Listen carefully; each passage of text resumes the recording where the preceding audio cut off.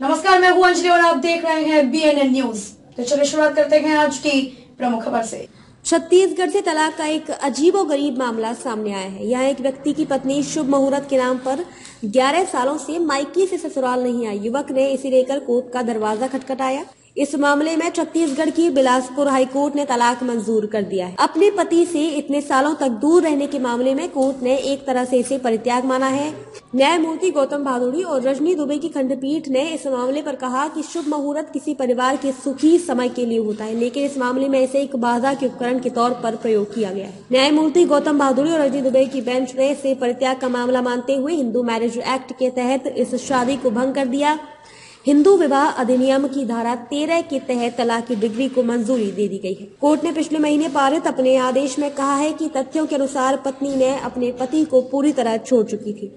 इसलिए वह तलाक लेने का हकदार था। इस आदेश की कॉपी अब उपलब्ध करा दी गई है। बता दें कि जांजगीर के रहने वाले अपीलकर्ता संतोष सिंह ने पहले तलाक के लिए फैमिली कोर्ट में याचिका लगाई थी, जिसने परित्याग के आधार पर तलाक के लिए उसकी याचिका को खारिज कर दिया था। इसके बाद उसने हाईकोर्ट का रुख किया था। याचिका के मुताबिक संतोष सिंह, याचिका के मुताबिक संतोष सिंह की शादी जुलाई 2010 में हुई थी। वह अपनी पत्नी के साथ 11 दिन तक साथ रहा था। इसके बाद पत्नी के परिवार के लोग आए और ये कहकर ले गए कि उन्हें कोई ज़रूरी काम है। इसके बाद पति ने उसे दो बार मायके से ससुराल लाने की कोशिश की, मगर पत्नी ने शुभ मुहूर्त नहीं है।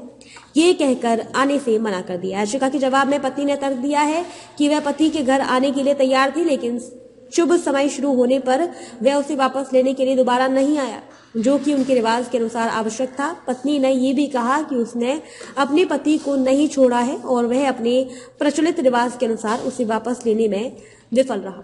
संतोष सिंह के वकील ने कहा कि पत्नी जानती थी कि वैवाहिक अधिकारों की बहाली के लिए डिग्री पारित हो चुकी है, लेकिन वह अभी भी अपने पति के साथ वैवाहिक जीवन में शामिल नहीं हुई है। पत्नी के वकील ने कोर्ट में अपना पक्ष रखते हुए कहा कि दोनों पक्षों के बीच प्रचलित प्रथा ये थी कि द्विरगामन के समारोह के दौरान पति को आने की आवश्यकता थी, लेकिन वह नहीं आए